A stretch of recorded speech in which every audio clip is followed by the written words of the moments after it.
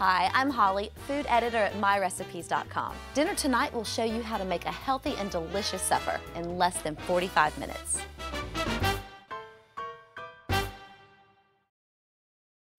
Hi, I'm Holly Granger, food editor at myrecipes.com. Dinner tonight is Cooking Light's pork with pomegranate pan sauce. This simple, low-calorie recipe features a sweet, tart sauce. And best of all, it takes just minutes to make. Start by making the rub for the pork chops. Combine garlic powder with salt, cumin, and black pepper. Then sprinkle the chops with this mixture.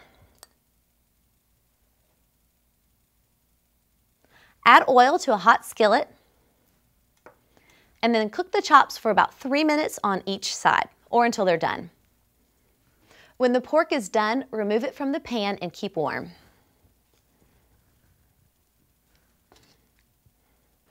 Then add shallots and saute for about 45 seconds.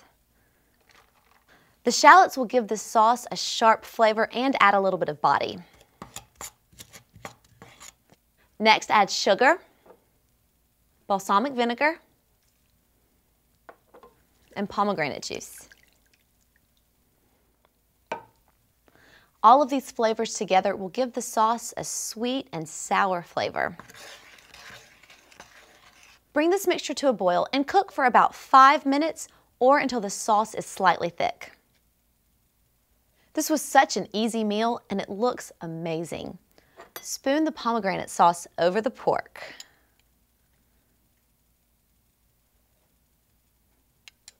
One more little helping.